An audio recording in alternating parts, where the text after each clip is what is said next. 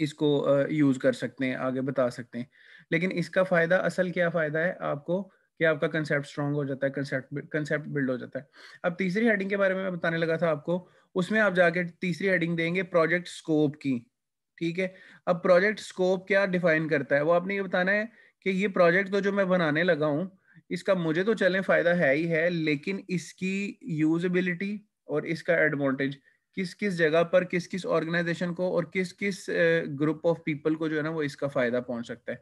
तो आप मेंशन करेंगे कि इस प्रोजेक्ट का स्कोप ये है कि फॉर एग्जांपल जैसे मोहसिन ने लिखा हुआ था, इसने कोई कोई कॉलेज मैनेजमेंट या वर्चुअल कॉलेज असिस्टेंट टाइप इस तरह करके इसने कुछ बनाया हुआ था।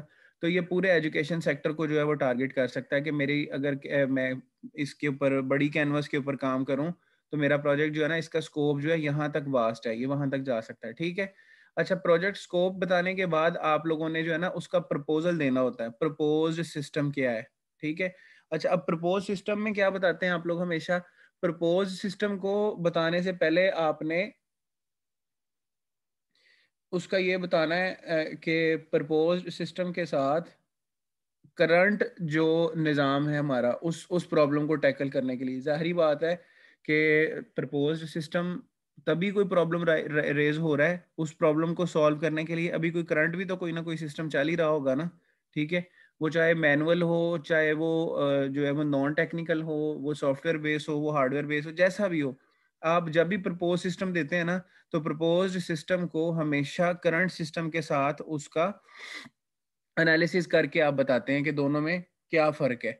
फॉर एग्ज़ाम्पल आप कहते हैं कि जी, मैं कल को ये बच्चे जो लाइनों में लग के फ़ीस जमा करवाते हैं, मैं उनके लिए एक सिस्टम बना रहा हूँ, ये घर से बैठ के ऑनलाइन जो है ना, वो अपनी फ़ीस सबमिट करवा सकते हैं। ये आप प्रपोज सिस्टम में लिखते हो, ठीक है?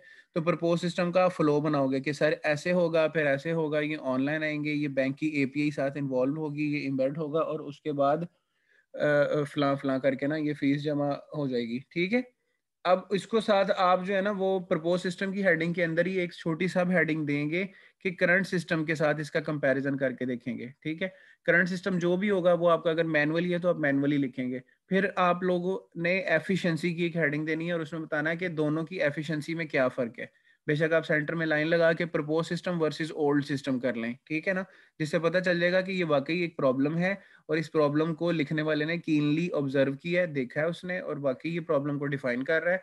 और उसके बाद आप उसकी जो है ना वो एफिशिएंसी के ऊपर पड़ने वाले इफ़ेक्ट आप उसको जो है ना क्लियर uh, कर सकते हो। एफिशिएंसी के ऊपर जो इफ़ेक्ट पड़ेगा ना आपकी आप उसको उसमें क्लियरली डिफाइन कर सकते हैं।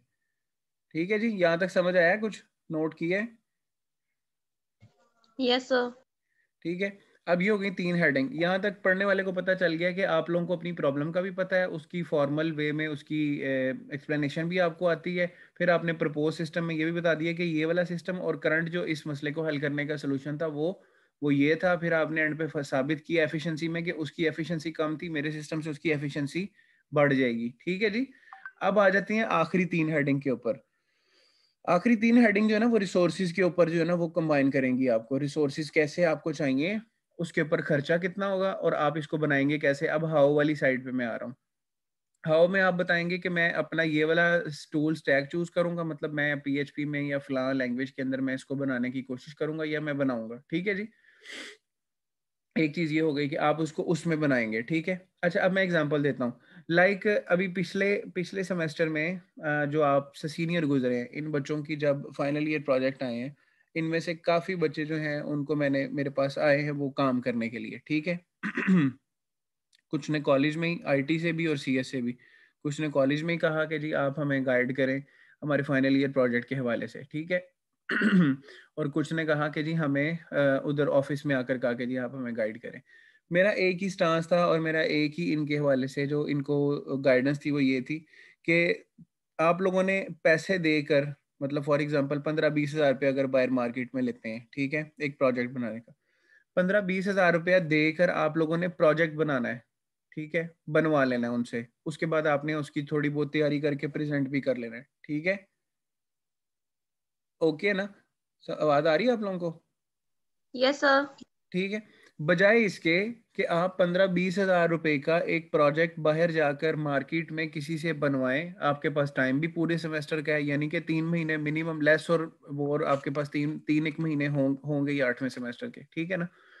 तो आप लोग पंद्रह बीस हज़ार रुपया देकर किसी से प्रोजेक्ट बनवाने लगे हैं। उसकी नस्बत मैं ये रेफर करता हूँ, मैं ये प्रेफर करता हूँ आप लोगों को कि आप वही पंद्रह बीस हज़ार रुपया, आपने बेशक सारा टाइम अपनी डिग्री का कुछ नहीं पढ़ा, कुछ नहीं सीखा वही पंद्रह बीस हज़ार रुपया लेकर किसी इंस्टीट्यूट इंस्टीट्यूट में जाएँ, उनसे कहें कि, सर, हमें हमारे हाथ से प्रोजेक्ट बनवाना है। दो महीने हमारी ट्रेनिंग करें, हमें पूरा कोर्स करवाएँ फलान लैंग्वेज का या इस इस टूल का या इस लैंग्वेज का पूरा कोर्स करवाएँ हमें। फिर हमारे हाथ से हमें प्रोजेक्ट बनवाएँ, ठीक है? और हमसे जो है ना, वो पूरे एक प्रोजेक्ट की जो है ना, वो फ़ीस लें। यानी यानी कि पंद्रह बीस हज़ार रुपया तब भी देना है और पंद्रह बीस हज़ार रुपया दूसरी सूरत में भी देना है। लेकिन दोनों में फ़र्क क्या होगा? उसमें सिर्फ़ प्रोजेक्ट लेकर निकलेंगे आप। और इसमें क्या होगा जी? आप एक पूरा स्किल अपने हाथ से नो no डाउट कि आप हंड्रेड परसेंट नहीं ले सकते नाइन्टी परसेंट नहीं ले सकते। कोई eighty percent seventy percent sixty percent कुछ ना कुछ सीख ही लेंगे ना उस स्किल को। उससे फ़ायदा ये होगा कि जैसे ही आप डिग्री से बाहर निकलेंगे, अगर आपने इस फ़ील्ड के साथ टच रहना है तो आपके पास चाहते ना चाहते फाइनल ईयर प्रोजेक्ट की सूरत में एक ऐसी एप्लीकेशन होगी जो आपकी अपनी हाथ की बनाई होगी और उस स्किल के ऊपर आपकी जो है ना वो अपनी ग्रिप भी होगी, ठीक है? कुछ आइडिया हुआ? यस सर ये इस इस इस साइड पर आपने चलना है। और फिर ऐसे ही हुआ था कि तकरीबन पंद्रह बीस बच्चे थे फिर हमने उनको पीएचपी से और वर्डप्रेस के कुछ कोर्सेज करवाए उनको तैयार करवाया। अब अब क्या होता है मैं आपको प्रोजेक्ट की डेफिनेशन में ना उसमें प्रेजेंटेशन में फाइनल डिफेंस में क्या होता है मैं उसका भी बताऊँ। यहाँ पर भी ये बेशक कोई बहुत बड़ा कोई कॉलेज नहीं है। मैं नहीं कहता कि बहुत हाई लेवल के यहाँ पर आपके प्रोजेक्ट्स हैं, या बहुत कमाल के, या डिफेंस होता है, या बहुत ही जो है ना एक्स्ट्रा ऑर्डनरी आपसे जो है ना वो डिमांड की जाती है। लेकिन इसका फ़ायदा आपको कहाँ पर होता है? कॉलेज में भी जब क्वेश्चन होते हैं तो बच्चे कहते हैं हाँ जी सर, खुद बनाया है। ठीक है? जब बच्चा खुद बनाया वाला होता है ना, जिसने खुद बनाया होता है, उसकी एफर्ट में अगर हंड्रेड परसेंट रिज़ल्ट ना भी शो हो रहा हो ना तो मिनिमम लेस और मोर कोई कोई फोर्टी फिफ्टी परसेंट के राउंड अबाउट अगर नज़र आ रहा हो ना कि इसने काम खुद किया हुआ है तो उसको बी ग्रेड मिल जाता है ठीक है? अगर सेवेंटी एटी परसेंट तक हो और उसने काम खुद किया हो तो वो ए ग्रेड में लाई कर देता है इजीली ये तो थी कॉलेज की लाइफ लाइन अगर ये आपने टोटल प्रोजेक्ट ही बाहर से बनवाया हो उसके बाद आपको इसके ऊपर स्किल ही कोई ना हो आपको काम भी कोई ना आता हो और फिर आप कहेंगे मुझे ए ग्रेड मिल जाए ये पॉसिबल ही नहीं है ठीक है? अब क्या करना है आपने अब ऐसे ही जब आप इंटरव्यू के लिए बाहर निकलते हो ठीक है? किसी अच्छी फर्म में जाते हो या किसी अच्छे सॉफ्टवेयर हाउस में जाते हो, ठीक है, काम करने के लिए? तो वो आपसे सवाल यही करते हैं कि भाई आप मुझे ये बताएँ कि आप लोगों ने क्या बनाया था फाइनल ईयर प्रोजेक्ट में? अच्छी फर्म में जब भी जाओगे और कहोगे हमने बी एस सी एस या बी एस आई टी करके आए हैं ना तो वो फाइनल ईयर प्रोजेक्ट का लाजमी आपसे पूछेंगे कि आपने क्या बनाया था, किस टूल में बनाया था और आपने जो है वो कहाँ से सीखा था वो काम? ठीक है ये तीन सवाल आपसे वो लाजमी पूछते हैं।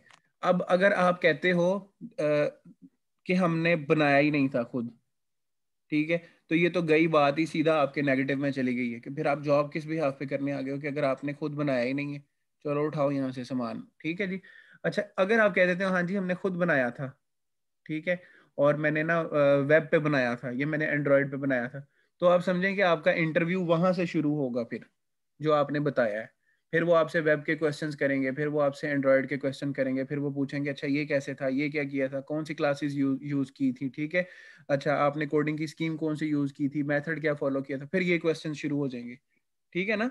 तो इट मीन्स के बाय होक और बाय क्रुक अगर आपने अच्छे से मार्केट में सर्वाइव करना है और काम करना है तो आपको किसी ना किसी एक स्किल की ज़रूरत है। अभी भी टाइम बहुत ज़्यादा नहीं गुजरा आपके पास टाइम है, अभी भी आराम से इसका फ़ायदा उठाना चाहिए था आपको ये जो टाइम गुजर गया है ऑनलाइन लेकिन अभी ये जो ए, एक कुछ थोड़ा सा टाइम सेवन सेमेस्टर का और बाकी एट सेमेस्टर का जो टाइम पड़ा पूरा, इस टाइम को किसी अच्छी जगह पर यूटिलाइज करें, लगाएँ इसको। और कोई ना कोई स्किल सीख लें। मैं नहीं कहता कि प्रॉपर किसी सॉफ्टवेयर हाउस में ही जाएँ। मैं नहीं कहता कि प्रॉपर किसी इंस्ट्रक्टर को हायर करें और उससे काम करें। लेकिन मैं ये ज़रूर रेफर करता हूँ कि अगर आपकी क्लास में कोई अच्छे बच्चे हैं, जो कहीं किसी सॉफ्टवेयर हाउसेज में जा रहे हैं, उनसे हेल्प ले लें बेशक, ठीक है? कोई आपको फ्री ऑफ़ कॉस्ट हेल्प करता है बेशक, उसके पास बैठ जाए। कोई चार पैसे लेके आपकी हेल्प करता है, उसके पास बैठें। लेकिन अपने आप को टेक्निकली थोड़ा सा साउंड कर लें, ताकि ना सिर्फ़ आप अपने फाइनल ईयर प्रोजेक्ट को, बल्कि आगे अपनी जॉब को भी सिक्योर कर लें। अब इसी असाइनमेंट के लास्ट पार्ट में चलता हूँ कि हमने तीन चीज़ें डिस्कस कर ली। चौथा और आखिरी जो इसका हिस्सा था, उसमें मैंने ये पूछा था how you can see for see your future इसमें, कि आप जो है ना, वो अपने फ्यूचर को फॉर सी करें। और उसके बाद जो है ना, आप कहें कि हम लोगों की जॉब जो है ना, वो जॉब सिक्योरिटी वो इस इस, इसके साथ जो है वो लाई करती है। तो इसमें आपने सिंपली एक्सप्लेन करना है कि सर हमारे प्रोजेक्ट का स्कोप ये बताता है कि हमारी एप्लीकेशन की यूजबिलिटी और इस एप्लीकेशन की जो uh, है हमारे पास इसके एडवांटेजेस और इसकी एफिशिएंसी करंट सिस्टम के हवाले से बहुत ज़्यादा है ठीक है? तो मैं फोर्स ही करता हूँ कि अगर मुझे इसके ऊपर जॉब ना भी मिलती हो अव्वल तो मुझे इसी के ऊपर जॉब मिलेगी, क्योंकि जब मैं एक प्रोडक्ट को लेके मार्केट में आ रहा हूँ तो मुझे जॉब मिलेगी। अगर मुझे इसके ऊपर जॉब नहीं भी मिलती तो मैं इसके ऊपर अपना स्टार्टअप लेकर इसको एज एन इंडिविजुअल प्रोडक्ट के तौर पर लॉन्च करूँगा और मेरी टारगेटेड मार्केट जो है वो, फिर आपने टारगेटेड मार्केट का एरिया बताना है। कि मेरे ये ये स्कूल कॉलेजेस और ये एजुकेशनल इंस्टीट्यूट जो है ये मेरी टारगेटेड मार्केट है और मैं इनको यूज़ करते हुए अपनी प्रोडक्ट को मार्केट में लॉन्च कर सकता हूँ। इट मीन्स यहाँ से आपकी प्रॉपर आइडियोलॉजी का पता चल जाता है कि हाँ इस बच्चे को अपनी फ़ील्ड में जो बच्चा ये बैठा है, इसको एग्जैक्ट अपनी फ़ील्ड का आइडिया भी है और इसको ये पता है कि जो ये काम कर रहा है, इसकी, इसका फ़ायदा और इसका एडवांटेज किस किस जगह पर है, ठीक है?